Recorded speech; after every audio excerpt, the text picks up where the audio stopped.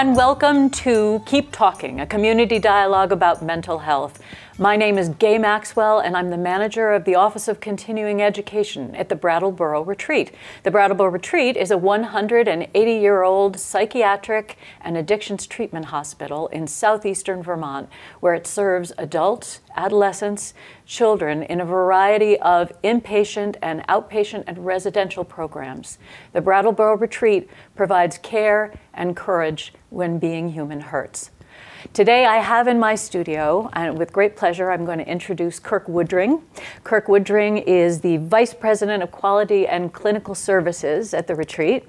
Um, he has been at the retreat um, for how many years now, Kirk? Well, gosh, off and on for probably about a dozen years. I right. was a social worker, and then I was uh, director of admissions and outpatient services, and I came back, uh, gosh, in uh, November of this year, so about four or five months ago. And we're so happy to get you back. Thank you. so I have invited Kirk on, and I thank you again for your time, um, to talk about um, a tough subject, to talk about um, suicide, suicidality, and um, how hard that is for um, uh, people and communities to talk about. Right. Um, and my my impression has always been, and you can tell me if you think I'm off on this is that there's kind of a myth that if you talk about suicide, if you talk about um, uh, feelings, uh, suicidal feelings, right. that you're more that you're more inclined to make it happen. And what do you think of that? That's that is a myth. Um, you know, the more we talk about suicide, the more that we get suicide into the public awareness realm, uh, the more likely people are going to be to identify when there are triggers and when there are concerns about suicide, and the more people are going to feel comfortable about talking about their feelings of suicide. Um, you know, suicide is stigmatized, uh, just as most mental illness is, and um, and suicide is uh, you know, is, is much more common now than it ever has been. And so talking about it doesn't make it happen. Um, talking about it helps it not happen and, uh, and, and, and helps people get the help they need. Would you explain exactly what suicidal ideation means? What's you? We hear that term, sure. and for a lot of people, that may seem like, what are you talking about? Yeah, suicidal ideation is really having thoughts about suicide. It's having ideas about suicide, and it's not unusual for people to think about suicide from time to time, uh, you know, under stress, under um, incredible challenges that people face, economic situations. Uh, maybe people have lost their homes, uh, you know, they're in foreclosure, they've had um, family losses, grief. There are times when people think, I just want to be dead, I just, I'm done. Mm-hmm. Um, that is suicidal ideation. But suicidal ideation is uh, sort of on a continuum. There's, there are degrees of suicidal ideation. So passive thoughts about um, wanting to be dead um, is one thing, but having active thoughts about uh, about killing yourself and how you want to do that, that's much more concerning. Hmm.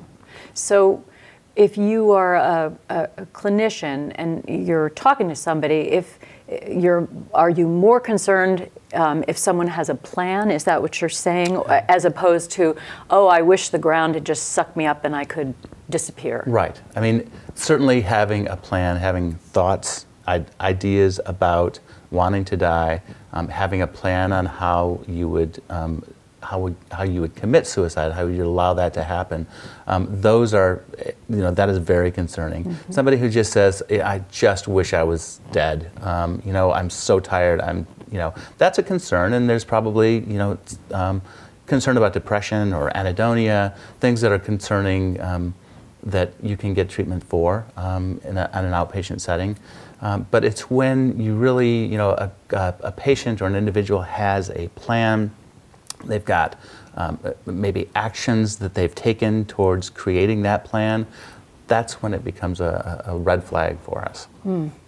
Um, could you explain uh, one of the things that I uh, wondered in my research is uh, preparing for this um, interview is is suicidality a symptom of something else or is it actually an illness in itself? So suicidality is not an illness in itself. It's it's really uh, it's a symptom of uh, mental illness. It's a symptom of often depression uh, bipolar disorder, it could be a symptom of schizophrenia.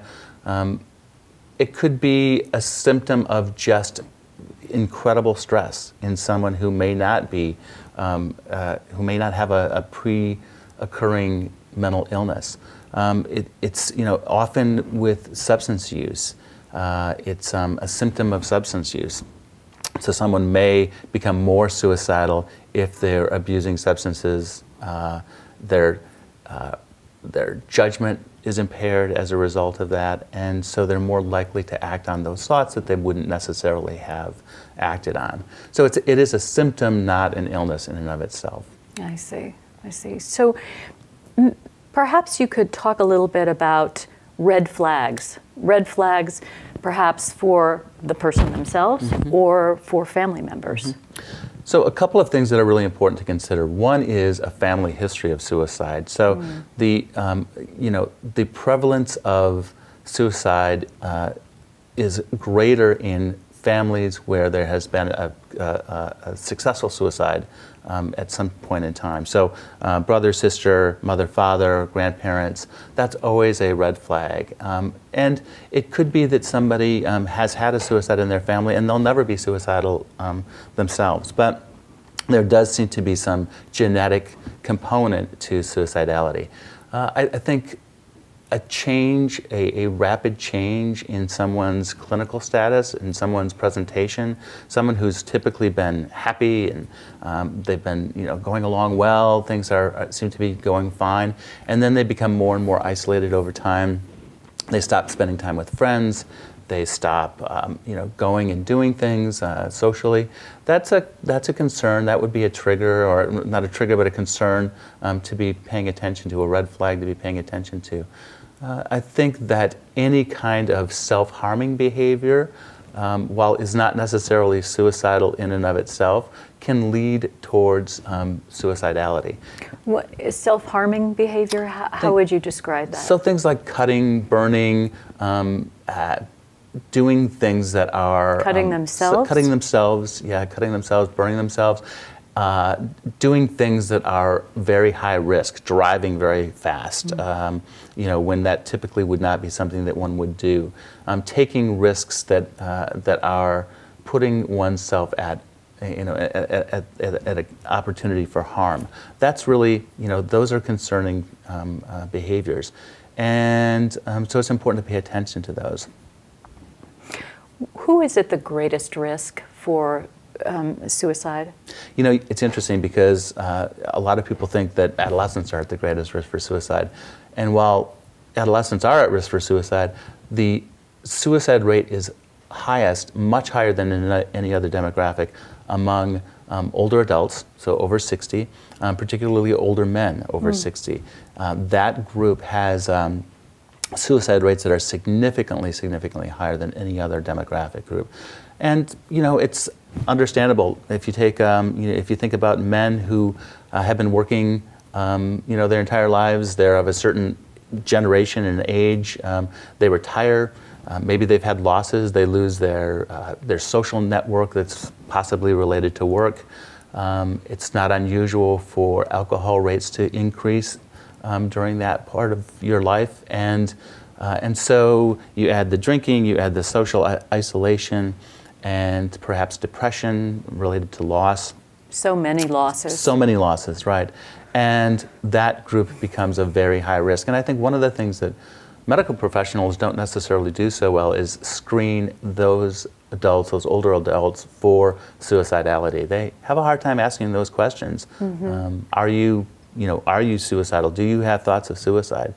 That where we circle back, we're right. circling back actually to asking those questions. Right. Oh, oh, um, and we're still a, a, society that has trouble bringing those questions forward. Yeah, you know, it's, it's funny, a little story. I, I went to see my doctor, and uh, the nurse came in, and, and she, um, she asked me the question, in, she framed the question in this way You're not feeling suicidal, are you? And Hmm. And have you, you know, are you thinking about suicide at all? And I said, um, actually, yeah, I'm, I am thinking about suicide. At the time, I was writing a couple of papers on suicide, and the look on her face was just shocked. She couldn't imagine you know, okay, so he actually said, yes, he's thinking about suicide. Then what did she do, right? She stopped and she didn't know what to say next. Mm-hmm. Um, she didn't really have the training or the, uh, it was a, it was a, it was a kind of a toss away question um, that mm-hmm. I think medical professionals often ask. So I did that. I then said, you know, I'm writing these papers, so I'm thinking about suicide all the time. But how you ask the questions, um, you know, how often do you think about suicide? Um, when you're feeling down and depressed, um, what kinds of thoughts do you have? Do you, you know, it's okay to ask people the suicide question um, mm-hmm. and to use that word suicide. What it does is for somebody who's feeling suicidal, it opens up an opportunity for them to have that conversation. And that's really important. Because I think there's also still a lot of shame associated almost in our DNA, you know, uh, about the thought of that. Sure. And for many people from certain religious backgrounds, right. that can be the sin of all sins. Right. Absolutely, absolutely, and and then to you know to ask questions about what are the protective factors. You know, if someone is thinking about suicide, what are the things that protect them from that? Religion is one thing, and there are people who would absolutely not commit suicide even if they're thinking about it because they know that um, that goes against their beliefs so significantly mm-hmm. that they couldn't do that.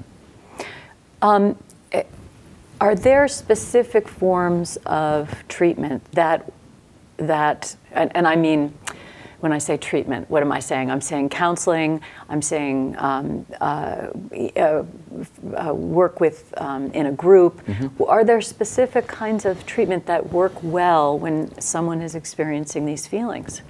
So there are lots of different treatments that work well. Talk therapy works really well. Um, cognitive behavioral therapy. Uh, you know, being able to understand the thoughts that the person is having and how to be able to um, change those thoughts, to change the experiences that they're having. Is that what cognitive behavioral mm-hmm. therapy? Some people call it CBT. Is CBT. that what that's mm-hmm. really about? Sure. Is is thought changing? It's or? helping to change the, the, the, thoughts and the schemas that exist for that person. Mm-hmm. Um, so, so cognitive behavioral therapy can be very effective in helping treat um, depression and, um, and suicidality. Um, you know, traditional psychodynamic therapy can be very helpful. Uh, relational therapy, group therapy is incredibly helpful um, mm-hmm. because what happens when um, folks are in a group is that they recognize that there are others who feel similar to them and that can be very helpful. It can allow uh, folks to, to recognize that they're not alone, that the feelings that they're having are, um, are shared by others. And so group therapy can be a very good uh, technique for, for helping with suicidality. Mm-hmm. When, when does, a, when as a clinician, would you feel it was important for someone to be in a hospital? Well, hospitalization is always challenging because you know you, don't want to have somebody in the hospital. It's you know it can feel restrictive to that person. Um, you want to try and do whatever is possible to help treat the person in an outpatient setting. That said, hospitalization is really critical when someone has um, made a serious attempt or they have a very serious plan um, and in fact, when they have a plan that they're not sharing with someone, but they're talking about the fact that they have a plan. Um, I've worked with folks in the past who have said, you know, I have a plan, but I'm not going to tell you what it is. Mm-hmm. Um, and I'm not going to tell you when I'm going to do it, but I'm telling you that I will kill myself. In those situations, it's really important, if you have the relationship with the individual, to work with them to get them to recognize that getting into the hospital can be helpful.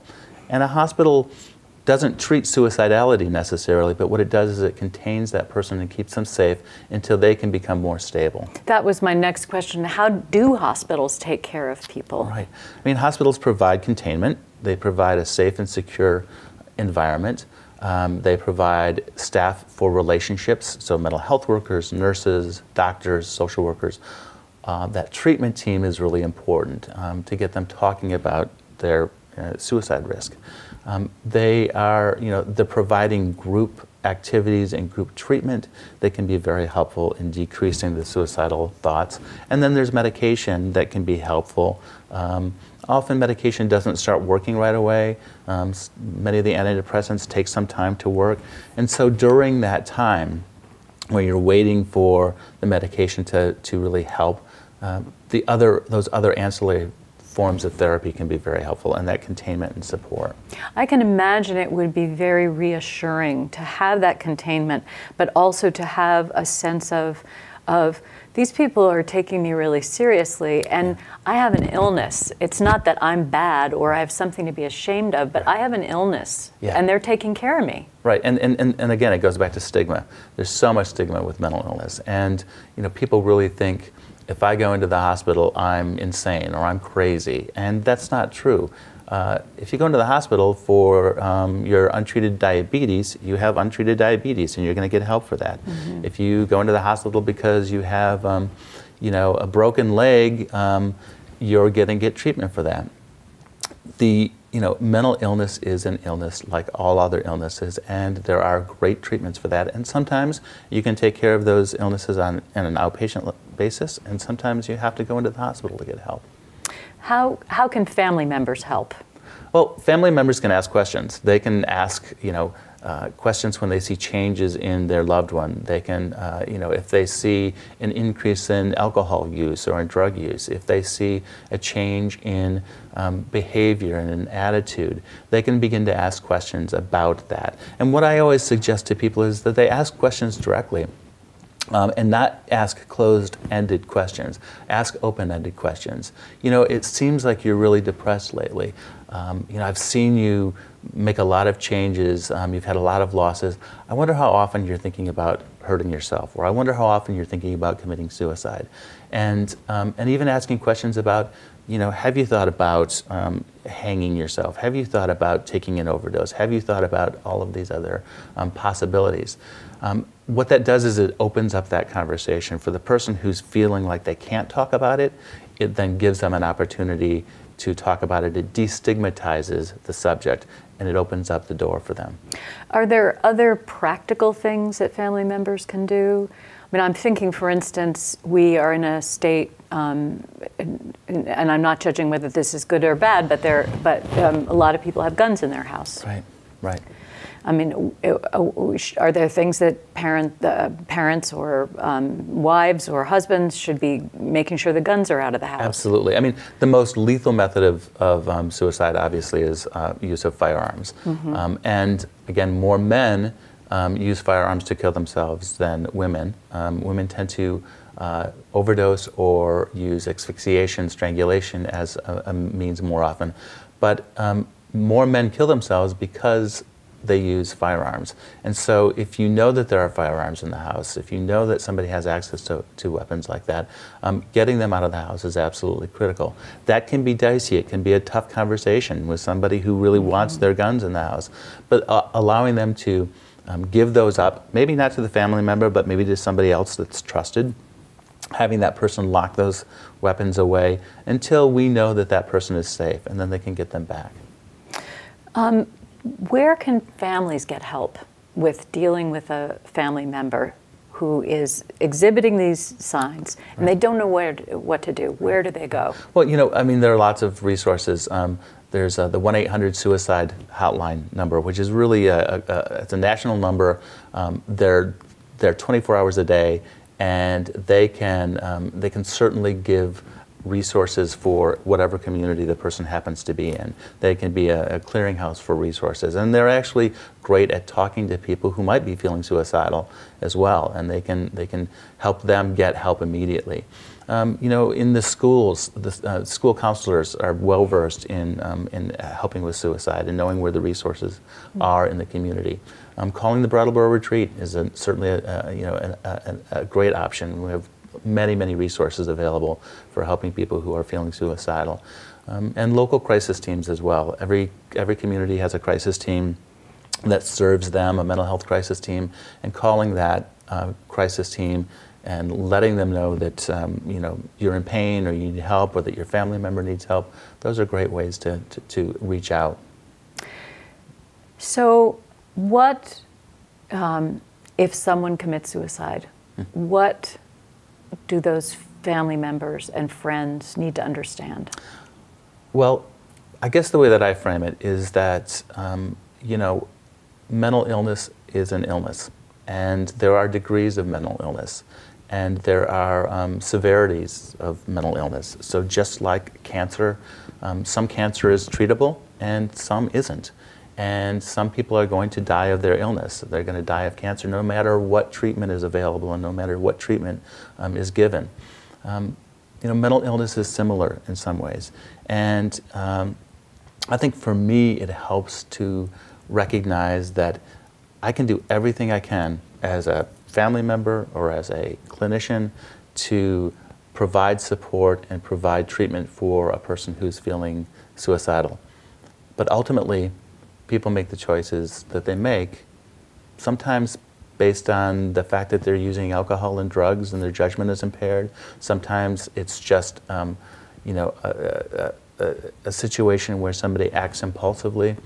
Um, but there's, you know, there's not any sure way that we can prevent people from committing suicide.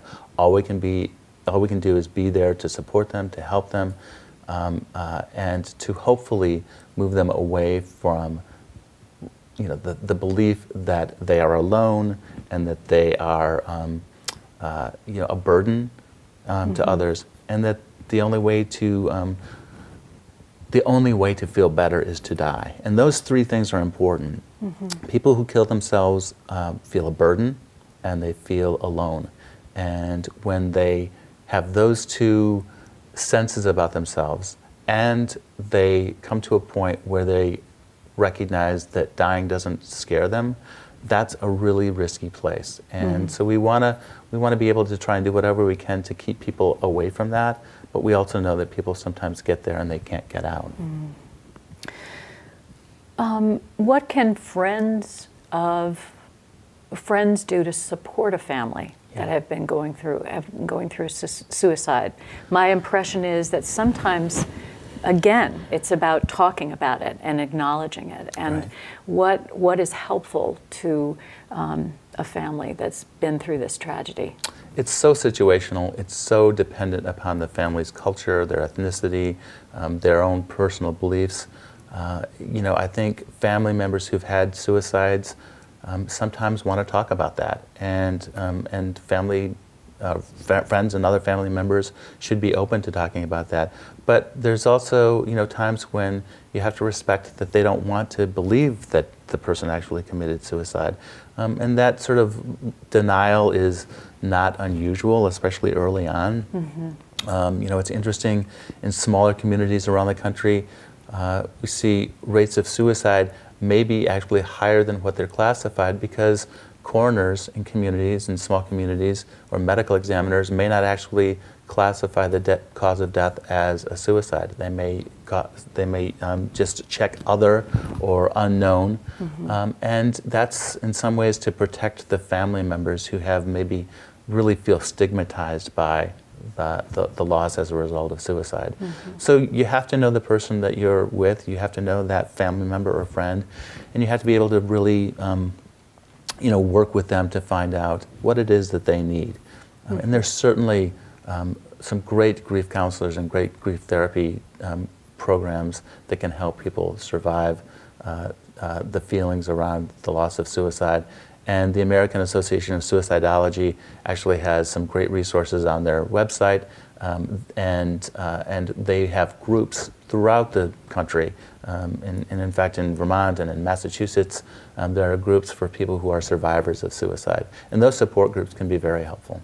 And our own Brattleboro Center for Health and Learning has been doing a tremendous amount right. throughout the state, doing workshops with people, post um, prevention workshops and postvention workshops, which Absolutely. has been great.